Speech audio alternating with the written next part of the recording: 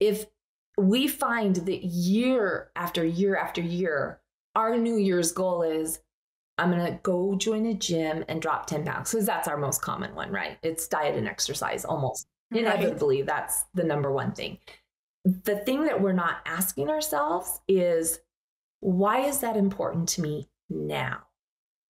Because if there mm. isn't a deep why beneath the achievement, beneath the goal, beneath the ambition, it, it's unsustainable.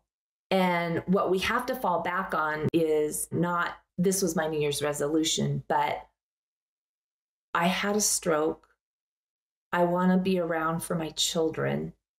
And if I don't drop this 10 pounds and continue to go to the gym, there's a good chance I'll die before I'm 50. That's a big why, right? right. But if it's just, oh, I want to drop 10 pounds, okay, but why? And that's where clarity comes in. That's why clarity is the first pillar we discuss because most people aren't clear, not only about what they want, but why they want what they want. We have to have a very deep, resounding why beneath it. Dean Graziosi is famous for his seven layers deep, is what he calls it. And it, he paid a coach because the coach said, I'm just going to ask you seven questions and it will change your life and allow you to have the life you want. The question was simply, why do you want what you want? And Dean's like, oh, because I think it would be really great to have X amount of money. Okay, why do you think it'd be great to have money? Well, because I grew up poor. I, you know, I lived in a car for a while. Like I lived with my dad. My dad never had a job. Okay, why do you not want to live in a car? Well, because kids at school teased me. Okay, why did the kids at school tease you? Well, because I was poor and I had these used clothes and I was a scrawny kid and da da da. Okay, why was their opinion important? They were only on question four. And he starts to cry. And he says, Well, because all I ever wanted was to be worthy of like the approval of my peers. Why did you need the approval of your peers? That's a loaded why.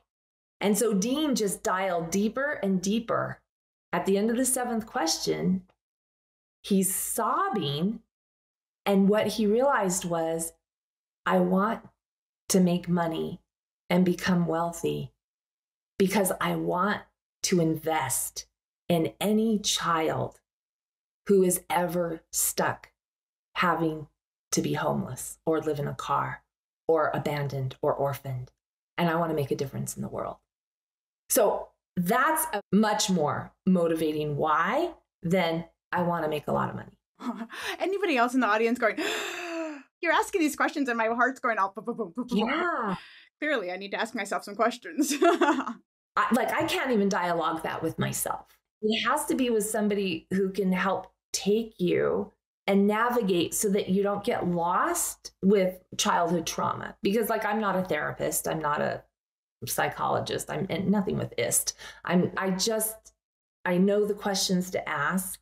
Sometimes I have to say, okay, so let's go deeper there. You as an individual, we all as individuals, we have the gift to know exactly what we need. And sometimes we don't want to answer what we need. It's scary territory, right? A lot of times, once we put voice to it, then there becomes that and now somebody else knows. And now I'm accountable. And now I have to do something about it.